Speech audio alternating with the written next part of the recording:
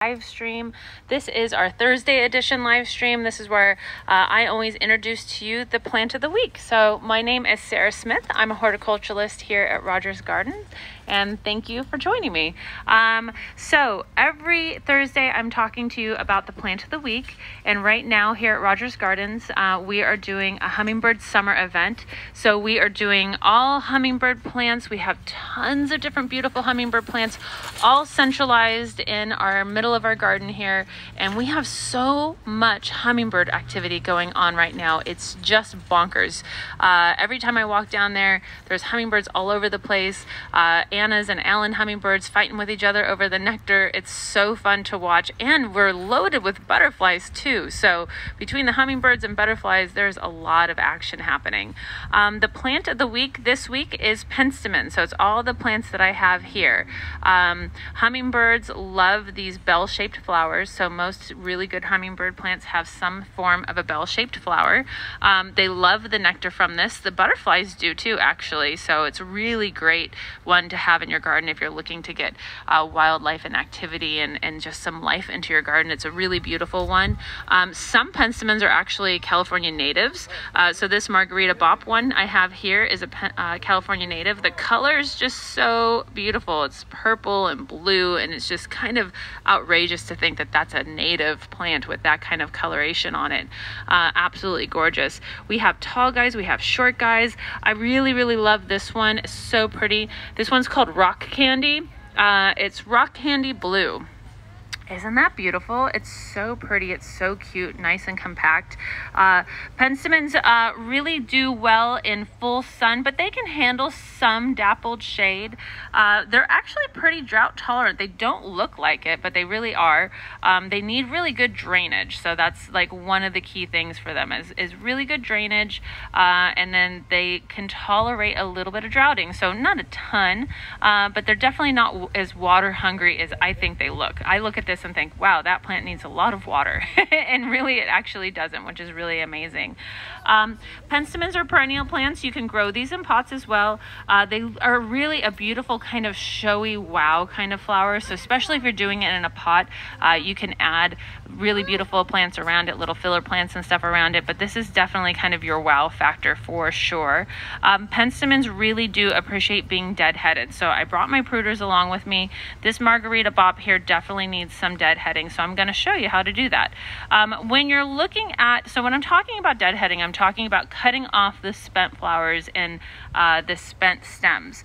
Um, so when you look at a flower like this, this is beautiful. It's got a lot of uh, great buds on it. It's got a lot of really beautiful flowers going on it. So this is great and I'm going to keep it. But when I look at this Margarita Bop, I have a couple here that are done flowering. Those last two little things right here are just seed pods. So they are done.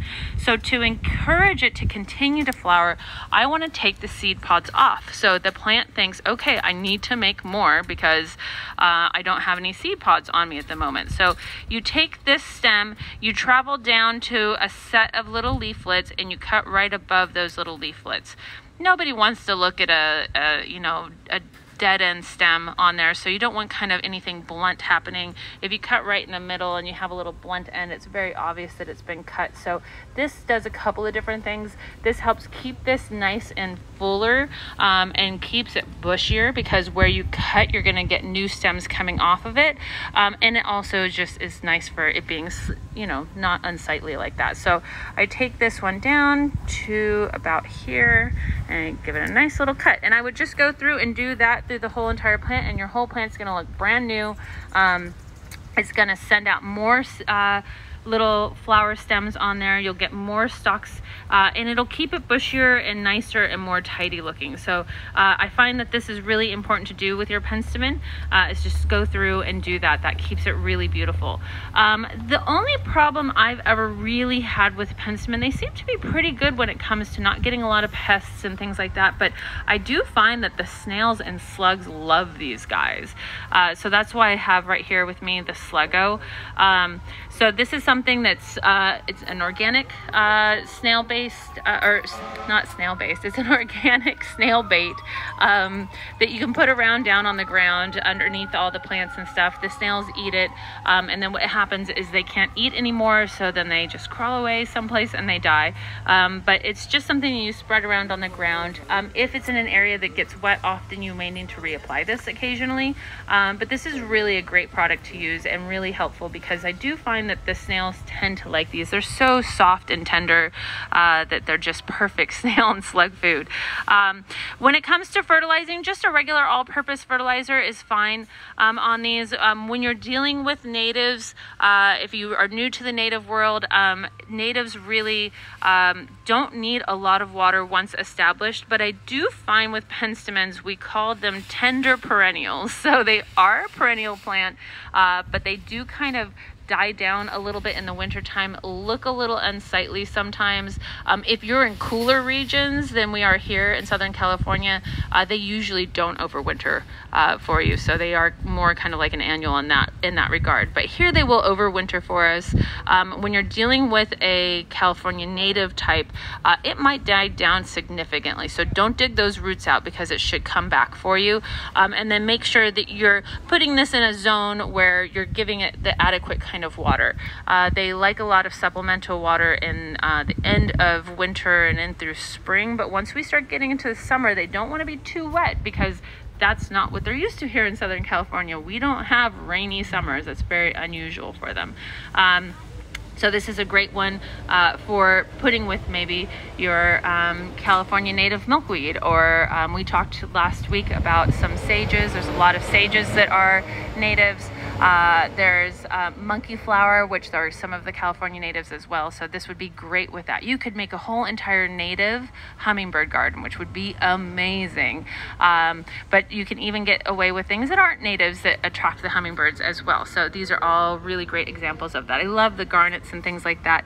There's um, all different kinds of uh, penstemons, natives and unnatives, um, and we have tons of them here. So it's a really, really fun time to come down, um, check out all the hummingbirds hummingbird activity. We have beautiful little holders uh, for hummingbird nectar that you can put in your hand. Um, we have an area where we can um, get it filled up with nectar for you so you can see if you can get one of the hummingbirds to eat out of your hand here. Um, it's just so fun to watch them in the garden. Uh, we have a lot of the Annas and we have a lot of the Allens um, right now. The Annas have the kind of pink throat. The Allens have the orange throat. Uh, the Allens are a little bit smaller, um, but it's just such a fun time right now to come into Rogers Gardens. If you you haven't already signed up for our email list, please do so because you'll find out about all the really fun things that we're doing here um, before we even do them so you can be in the know and be ready to come down and visit us. Um, also, too, make sure you subscribe to um, our YouTube page. If you haven't checked that out, we always post these lives there um, and you can check all that information out there as well. Um, and then, of course, you're probably watching on Instagram or Facebook. So uh, if you have any friends that are really into hummingbirds, make sure you tag them down below uh, so they know about all this great stuff that we have going on. We have all kinds of beautiful feeders as well, beautiful glass feeders and all kinds of stuff. Do we have any questions? Yes, we do. We have yeah. one question. Thank mm-hmm. you. Yeah. Uh, let's see. Someone has asked if the sluggo will affect the lizards in their garden. No, actually it won't. So um, it's something that is uh, phosphorus based. Um, so it actually breaks down and will add stuff into your soil too, which is actually good for your plants. Uh, but it's a pet uh, pet safe uh, brand, and it when you open it up and you look at it, it almost kind of looks like um, white ice cream sprinkles. It's really kind of unusual looking. Um, and then you just put it down on the ground, and it slowly uh, disintegrates down into the ground too. So it's not super unsightly. But if you're having a party, maybe not want to put that down on the ground before that because it is kind of looks like someone just opened up a thing of Jimmy's and threw it all over the place. So uh, make sure that uh, you're waiting before you're going to have company over or something like that. Uh, but it is something that will degrade down into the ground. So if you have a really bad infestation, you want to make sure that you're putting it up underneath the base of your plants. Um, and remember that it is going to disintegrate. So you may have to keep reapplying that. But uh, it's really great. Once you kind of handle your slug problem, it's, it's pretty good. I thankfully, knock on wood, uh, I have managed to uh, handle my slug and snail problem, and I haven't gotten anything in in a while. But sometimes when you bring new plants in, there's a little baby snail in there, and then that starts the process all over again. So it's always a good thing to have in the ground or have in your arsenal to put on the ground. nice, thank you. Yeah. So there's there are two questions here. I'll ask them together. Mhm. It's about timing. When's the best time to plant these plants? And Yeah. then when what time of day is best to fertilize and use things like sluggo? Okay, yeah. Um, so this is something that's going to flower. Um, it starts flowering in the spring and goes all the way through summer, even a little bit into fall um, for us, depending on the variety. Um, and then one thing I do want to point out, I think I turned it specifically. Um, we put these really beautiful stickers on all these, so you know what the hummingbird attracting plants are that we have here. Um, and they do kind of vary in sizes. Some are small, some are tall. Um, so it's a really great time to get them. You can get them absolutely into the ground now, um, even starting into spring, into fall as well. We we do great planting in fall uh, weather here in Southern California. We're we're kind of a little bit backwards. Uh, a lot of the stuff that people do in springtime in other states, we're already starting in the winter time. So we're a little ahead of the game just because of the weather here. Um, so getting in the ground is a great time now. You can even start in the springtime um, as well. And then as for fertilizing, um, they're not particularly heavy feeders, so I just use a general kind of all-purpose or a rose and flower fertilizer, and I only do that once a month. Uh, it's just a granular. Uh, we carry a variety called Down to Earth that I really, really like, um, and I just sprinkle that on the ground about once a month. And you can really do that at any time, but when you're dealing with a granular, um, instead of scratching it in, uh, it's best to water it into the ground. Uh, so that way you're not affecting the roots and stuff too much. And you don't really want to water midday. It's always better to do that early in the morning if you can, or even in the evening is okay, but the morning is really your optimum time for putting down the sluggo you can do that whenever uh, it's it's something that you can apply kind of whenever you want i would say reapplying it every two weeks to be on top of that would probably be the best Awesome, thank you, Sarah. Mm-hmm. Uh, someone's asked, do you carry decollate snails? Um, no, we do carry some um, ladybugs and we carry beneficial nematodes. We carry um, the uh, little egg uh, for um, praying mantis. Sometimes we carry the snails. We haven't recently. Um, you know, what's interesting about those snails, if you ever look in the container, what they actually use to feed those snails, lettuce. so uh, when they don't have other snails to eat, so if you don't know what those are, uh, they are carnivorous snails. That's kind of scary. Uh, they eat other snails and slugs, but in a pinch, they will also eat plants. So um, I've used them before in the past. Um, I they will eat your slug bait, uh, which will kill them. Um, so it's not something we have currently at the moment, but we do carry beneficial things. The ladybugs are really fun. I love doing the praying mantis. It's the best. Uh, they're such a funny, crazy looking little egg sack and then I love just putting it somewhere and then going and checking and checking because when they hatch you get hundreds of them and they're so cute and tiny and just these little miniature praying mantis that grow into the big guys that eat just about anything so uh, they're a really great one to have in your garden Awesome, thank you. We have a Mm-hmm. question here that says, do you have plumeria in stock and what Mm. kinds? Hi, Suzanne. yes. so, Suzanne is the other person who you see do the live streams on Tuesday. And uh, this is a running joke between the two of us. But yes, we do have plumeria in stock, and we have dwarf plumeria in stock. And we have plumeria in stock right now. Some varieties are so funny. There's champagne, uh, there's like Pinot Grigio, uh, there are all these wine uh, and spirit named. Plumeria right now that are really really pretty but we have a very large stock of plumeria in right now Awesome, thank Yeah. you. And thank Yeah. you, Suzanne, for that wonderful question. thank you suzanne suzanne hetrick you'll see her on tuesdays she does the tuesday uh, 9.30 live streams she always brings you all kinds of fun topics about like what to do in your garden right now and things like that on thursdays we always talk about the plant of the week uh, so i'm always introducing that to you and this saturday you can see both of us live and in person uh, we're going to be doing our second live in person uh, seminar. I'm so, so excited about that. Um, we're going to be talking about hummingbird gardening. So, we're going to be talking about all the different kinds of plants that you can use for hummingbird gardening. We're going to talk about all the different types of hummingbirds. Uh, we're going to be showing you feeders and going over all that kind of stuff and how to be a responsible hummingbird gardener. Um, it's a really, really fun thing. Um, it's so fun to do things in person and live with you. Um, when you come to the live one, um, we give you a 10% coupon too to use in the store for that day. So, uh, you see anything that kind of sparks your interest interest, you can buy that and get 10% off. Um, we will be streaming it as well. So if you can't make it into the store, you will be streaming. But if you make it in the store, you get a coupon, which is really awesome. So make sure you come into that. That will be 9:30 this Saturday. Uh, it's the 16th of July, uh, and it's going to be down in our amphitheater, so we can see all of your smiling faces in person, uh, and we'll answer all of your questions. And if you are doing this still through um, Instagram or Facebook, and you can't make it out here uh, live live with us, we will still be answering your questions there as well. So if you can't come in, tune in, but if you can come in, you get that 10% off coupon. Uh, we're going to have a lot of really fun, unusual plants uh, that the hummingbirds love that I'm really excited. I just got confirmation for some of the varieties we're going to get. So they're really special, and I'm super excited to introduce you all to those. Awesome. We're very excited. Thank you yeah. so much, Sarah. There are a few more questions before we go. Okay, yeah. Someone's asked if you could quickly just show the plants and name yeah, what you have there. So this one here um, is this this cute little guy. I love this. This is called Rock Candy Blue. Isn't that cute? And this is a smaller variety. This one only gets uh, 12 to 18 uh, inches tall and wide. Uh, that beautiful blue colored flower. Um, going with the blue, this is the Margarita Bop. This one I need to clean up a little bit, uh, so don't judge it too harshly, but I picked it so I could show you how to clean it up. Uh, so this is the Margarita Bop, and this one um, is uh, uh, actual California native here. Uh, super, super pretty blue flowers. This is a little bit taller uh, and a little bit more kind of wild looking than that little compact guy. Um, but this is a California native, so great for uh, comboing up with your other California natives. This one here this is also a native. Uh, so this one gets uh, much, much taller. So this one gets kind of a rosy blue violet kind of uh, color flower on it as well.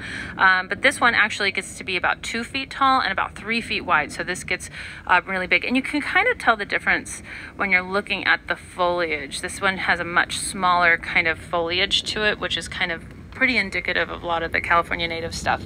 Um, and then the Cal- how you know things are California natives is they usually have this California native sign on there, which is really kind of awesome. Um, and then these will get the hummingbird stickers as well when they go back into the uh, back into the garden.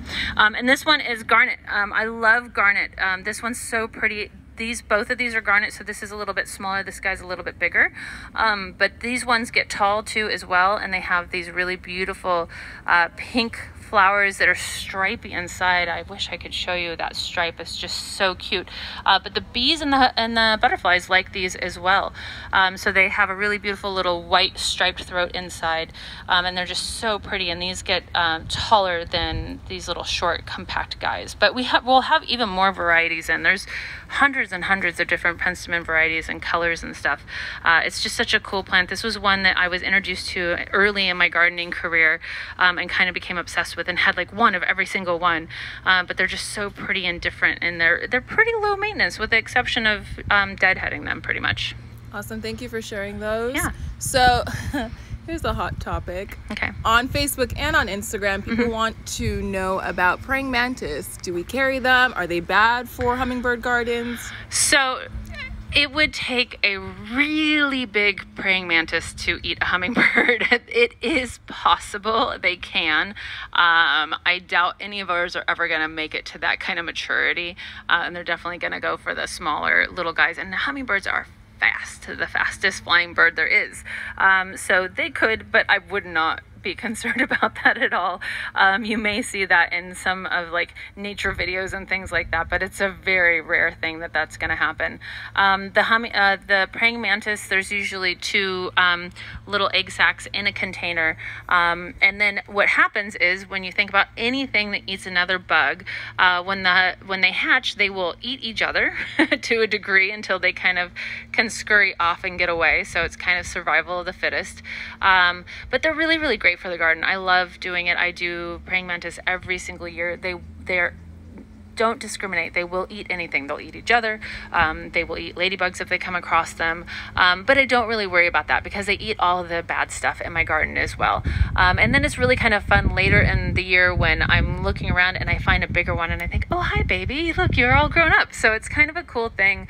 Um, they're really interesting. Uh, they usually move pretty slowly. So sometimes you can even pick them up and hold them. So it's kind of a cool thing. But uh, we do carry praying mantis. I know we have them currently in stock too right now at the moment, and ladybugs as well. Awesome, thank you. One more Yeah. question on praying Mhm. mantis. Yeah. Um, someone has said, I would like to get some praying mantis sacks. Where's a good place to put the sacks? Okay, we should maybe do a live stream about this. That would be fun.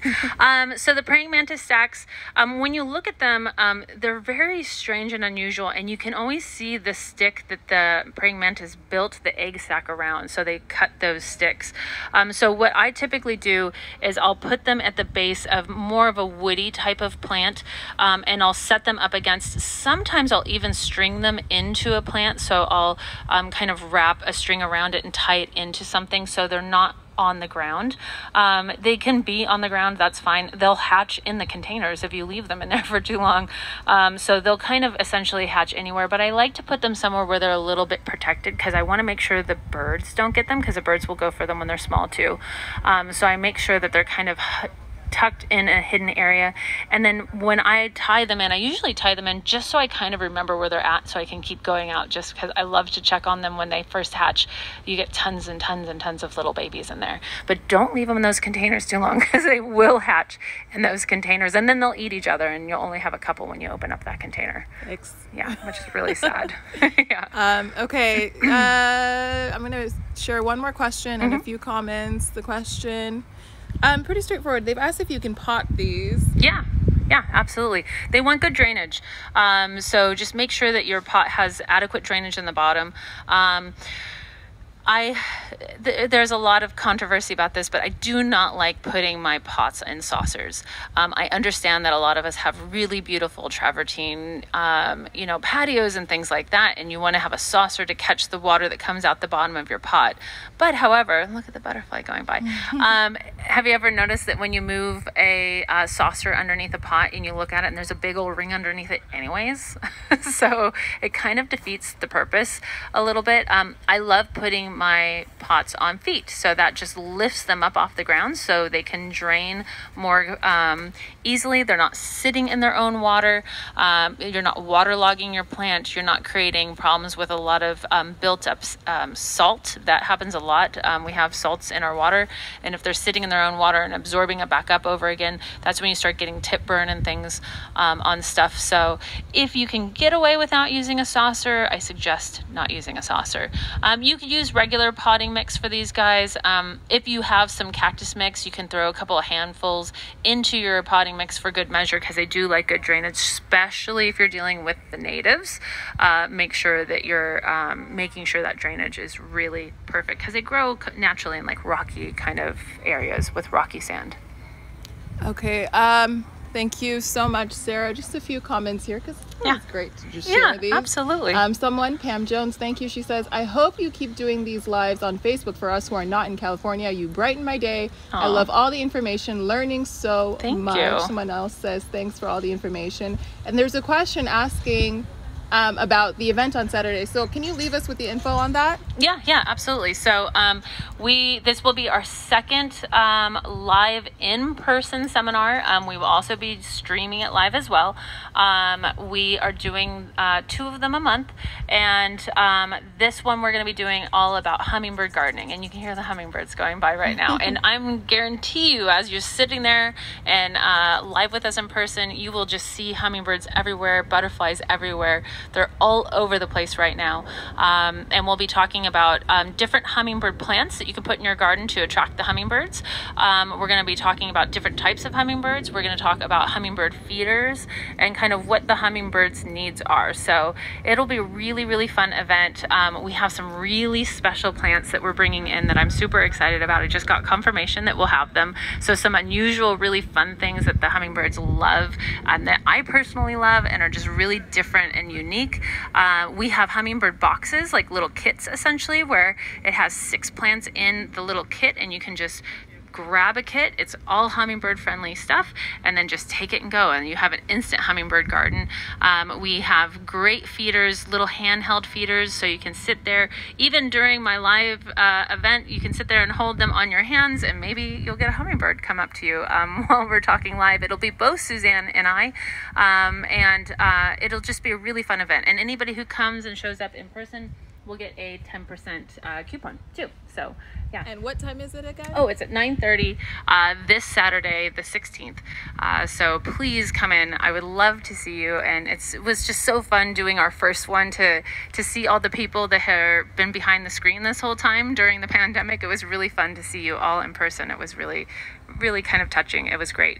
Um, so I'm really, really looking forward to that. So make sure, um, and again, if you're not on our emailer list, you won't find out about these things. So please sign up for that email list because uh, you'll know about all the fun things coming up so you won't miss out on anything. But if you can't come, we will be live streaming that as well for you um, and posting it later onto our Facebook and our Instagram page too.